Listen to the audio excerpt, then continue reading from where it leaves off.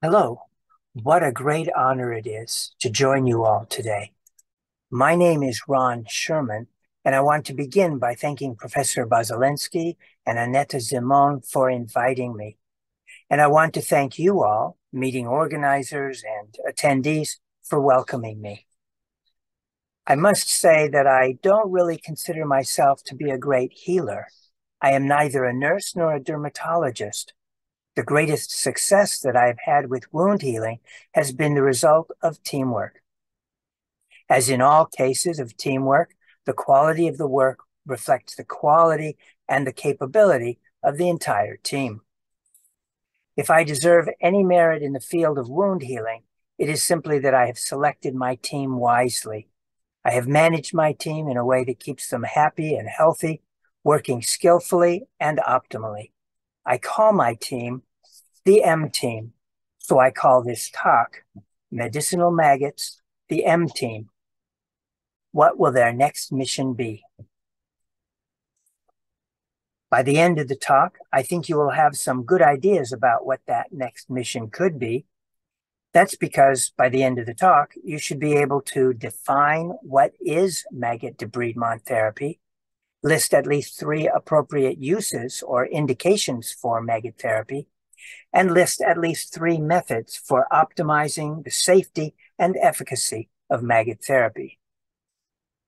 Let us begin with an introduction to the maggots family.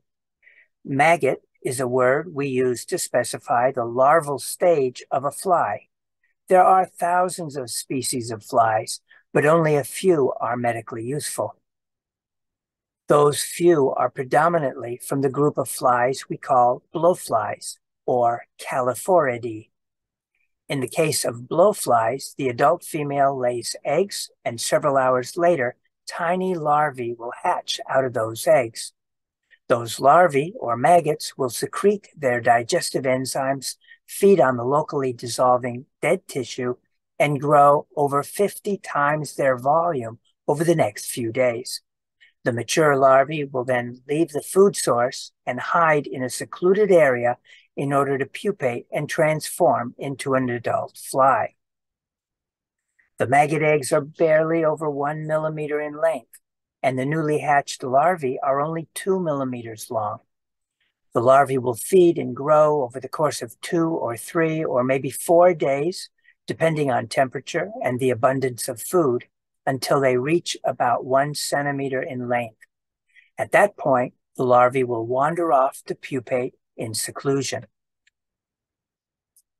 Myiasis is what we call an infestation of maggots on a live vertebrate host.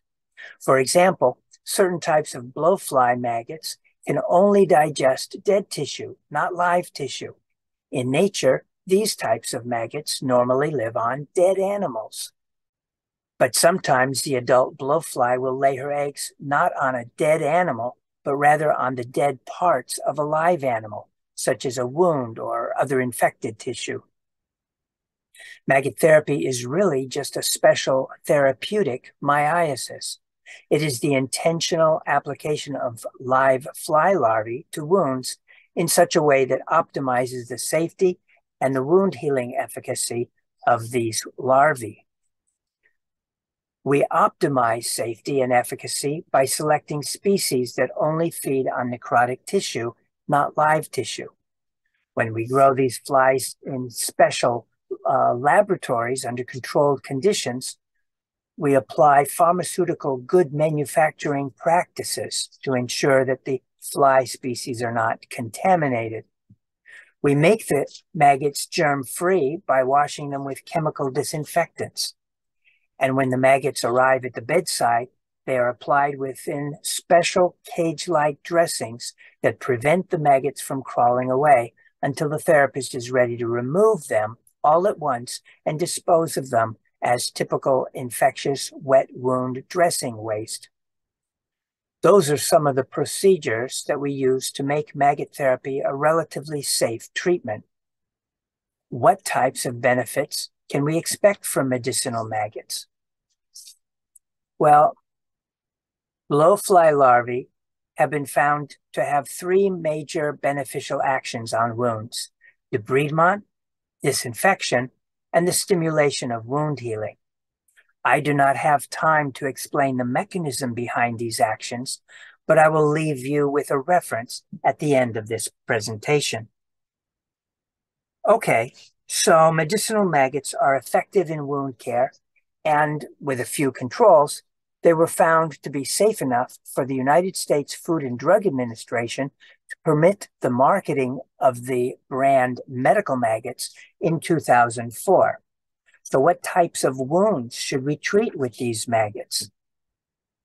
The indications listed on the labeling in the United States are based on the types of wounds we studied in the 1990s, predominantly patients with pressure ulcers, diabetic foot ulcers, venous stasis ulcers, and post surgical or traumatic wounds.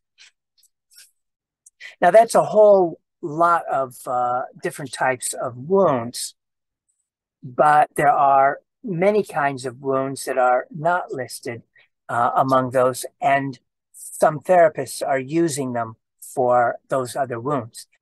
We did a study published in 2007 that suggested that as many as 24% of patients treated with maggot therapy were being treated for conditions not specifically listed on the labeling. We call that off label use. These included ischemic wounds and arterial ulcers, burns, debridement of necrotic tumors, debridement of bone and joints, including osteitis and osteomyelitis. Maggots were being used for non debridement functions as well, such as disinfection, removal of biofilm, and growth stimulation of seemingly clean but non healing wounds. I have been asked to share some of these cases with you to illustrate the diversity of wounds that can be helped by maggot therapy. Let's begin with a simple case. This 67 year old paraplegic man who had recurrent pressure injuries of the ischium requiring flap reconstructive surgery. A couple years later, he returned with another ulcer and requested maggot debridement this time instead of the recommended flap revision.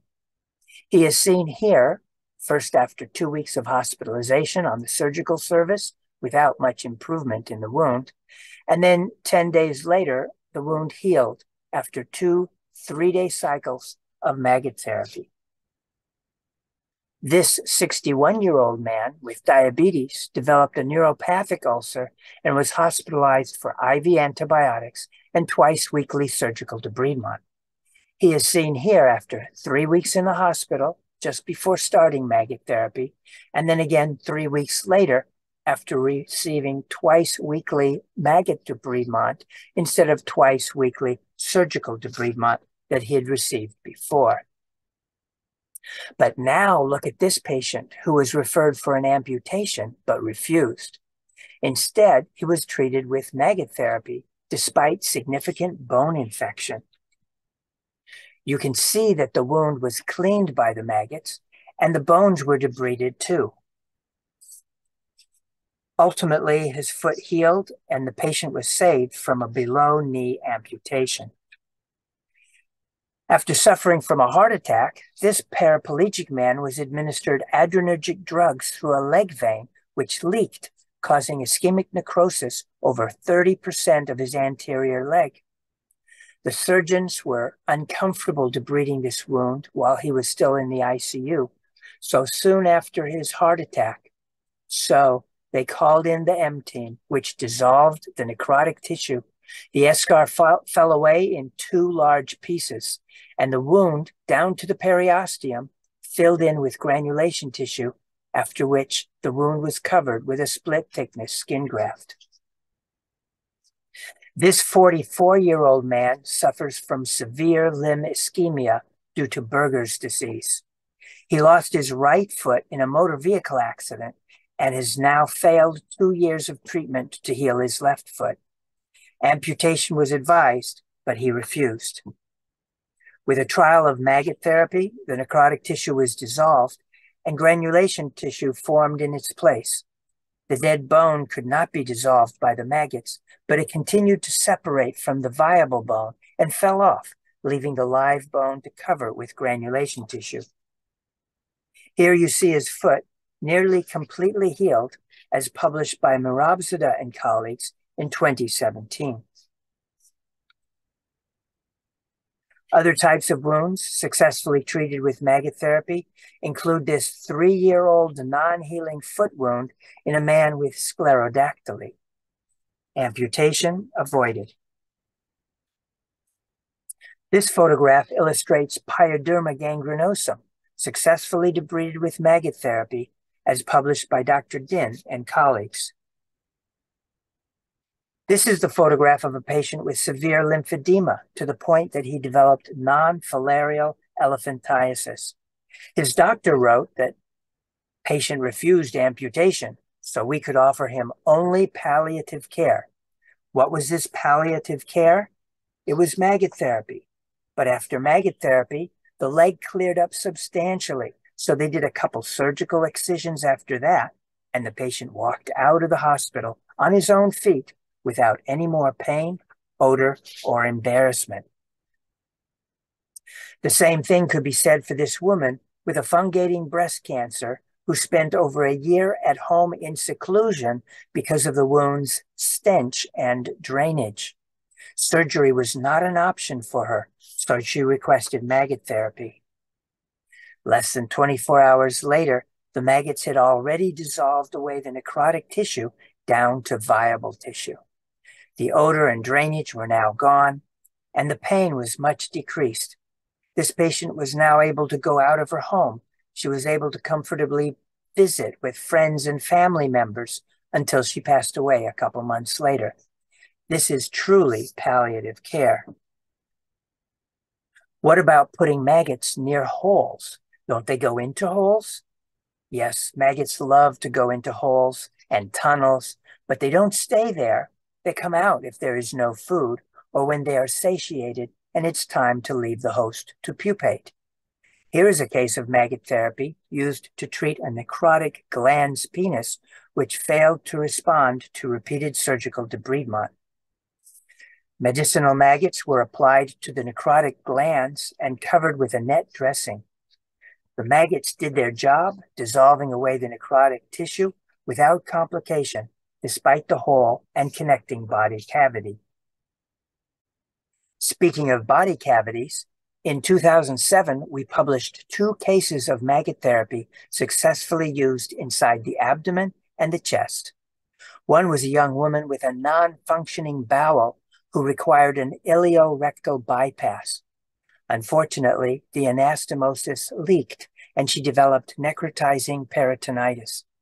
Systemic antibiotics and surgical debridement in the OR every other day failed to halt the infection.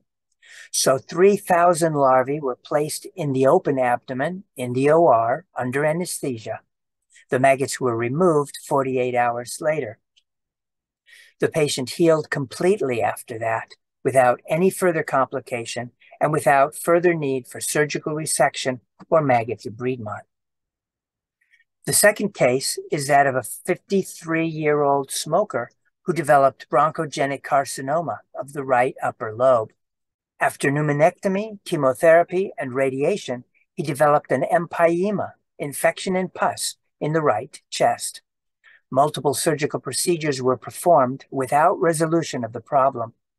In 2004, medicinal maggots were introduced through his thoracotomy in hopes that they would dissolve the remaining necrotic tissue and eradicate the infection. The dressings were removed two days later, but very few live maggots were seen exiting the hole. So the next day, a search party was sent in, that is, a second batch of maggots.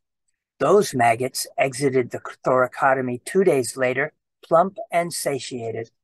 Sure enough, endoscopic visualization through the thoracotomy revealed that all of the fibrotic plaque and necrotic fascia had now disappeared.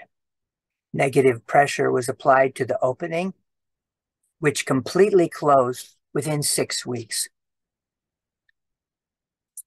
Some people might say that I am merely an animal trainer, but I am not even that. I did not teach the maggots what to do or how to do it. They taught me. They showed me what they could do.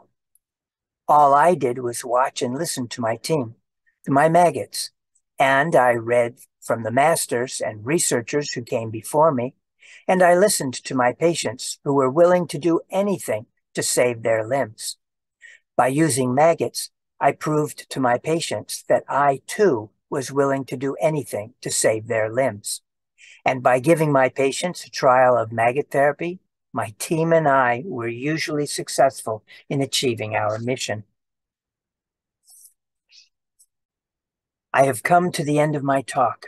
I need to thank many people who made this work possible, but I have time enough only to thank those who made the greatest sacrifice over the past 30 years. And that would be the S team, my wife and our two daughters. Here is a website where you can learn more about maggot therapy. My colleagues and I recently published an entire book edited by Frank Stadler, which you can read or download for free from this website. Thank you again for letting me share our work with you.